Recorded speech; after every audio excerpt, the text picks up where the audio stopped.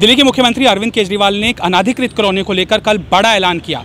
बड़ा ऐलान ये था कि अनाधिकृत कॉलोनियों में रहने वाले सभी लोगों को मकान का मालिकाना हक मिलने जा रहा है। लेकिन उनके आशियाने के सपने पर पानी फिर सकता है और बीजेपी के प्रवक्ता ये बड़ा आरोप लगा रहे हैं कि सरकार जनवरी 2021 तक कॉलोनियों का सर्वे करेगी। ऐसे में मालिकाना हक क्या चुनावी हथकंडा है? वोटों की राजनीति है। हरीश खुराना से बात करते हैं। हरीश जी, आपके पास जो डॉक्यूमेंट है, उससे तो लग रहा है कि ये सपना पिछले दो तीन सालों में अगले पूरा नहीं होने वाला है। देखिए, दिल्ली की सरकार को झूठ बोलना बहुत अच्छी तरह आता है और किस तरह से जनता का बेवकूफ़ बनाया जाए, ये सरकार अच्छी तरह जानती है। पहले तो साढ़े चार साल तक चुप रही। कोई कम्युनिकेशन का जवाब नहीं दिया, कोई चिट्ठियों का जवाब नहीं दिया। जो क्लैरिफिकेशन मांगी गई केंद्र सरकार की तरफ़ से, उनका जवाब नहीं दिया। आनंद फानंद में चूँकि पता है कि केंद्र सरकार इसके ऊपर एक्शन लेने जा रही है और कहीं ना कहीं जो हक है अनियंत्रित कॉलोनी के लोगों का उसको पूरा करने के लिए केंद्र सरकार ने बीड़ा उठा लिया है। लेकिन उस सबको ख़त्म करने के लिए उसको क्रेडिट लेने के चक्कर में वो ये भूल गए कि वो जिस प्रकार से उन्होंने चिट्ठी लिखी है और खुद कह रहे हैं ये दिल्ली सरकार की चिट्ठी है केंद्र सरकार चिट्ठी में उन्होंने खुद टाइम मांगा है कि 2021 जनवरी तक का हमें टाइम दिया जाए सर्वे करने के लिए। सर्वे हुआ नहीं। लिमिटेशन अभी तय हुई नहीं। कहाँ पे बुनियादी सुविधाएँ दी जाएँगी? जैसे पार्क है, कहाँ कहीं क्लिनिक है, कहीं वो कहाँ दी जाएँगी? तय हुआ नहीं। और आपने आनंद फानंद में कह दिया कि चूँकि वोट पाने हैं आपने और जो लोगों को सहानुभूति लेनी है, इसलिए आपने अनाउंस कर दिया कि हम रजिस्ट्री खोलने जा रहे हैं। मैं दिल्ली की सरकार से एक सवाल पूछना चाहता हूँ।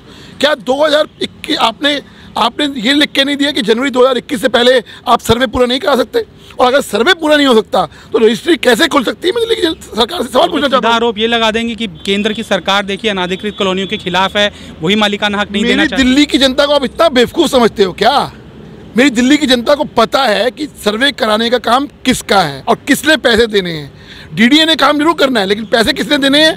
दिल्ली की सरकार ने। और दिल्ली की सरकार खुद कह रही है कि no delimitation has been done by GNCT and it has short time till January 2021 to complete a survey of of another colonies and the completion of all relevant data आप डाटा मैं एग्जांपल और इकट्ठा करने के लिए ही जनवरी 2021 तक का समय लग रहा है और फरवरी के अंदर संभवतः चुनाव है। यानी चुनावी रोटियाँ सिर्फ़ यही मेरा कहना यही मेरा कहना और मैंने एक दस्तावेज़ और जारी किया है जिसमें 2016 से सरकार केंद्र की सरकार जवाब मांग रही है कुछ जानकारियाँ मांग रही हैं। 2019 आ गया। आज तक आपने ये एक बार एक बार दिखा दीजिएगा।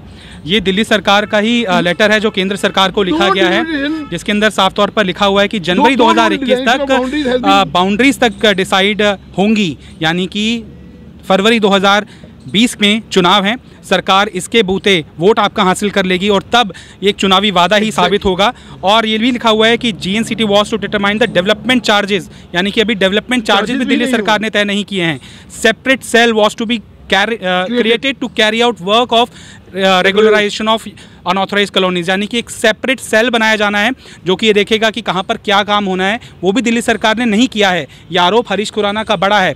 तो यानी ऐसे लोग जो ये सपना संजोए बैठे थे कि केजरीवाल सरकार चुनावों से ठीक पहले उनको मकान देने चाह रही है, शायद एक चुनावी हथकंडा ही साबित हो सकता है। कैमरा मैन ललित के साथ तरुण कालरा टोटल न्यूज़ दिल्ली।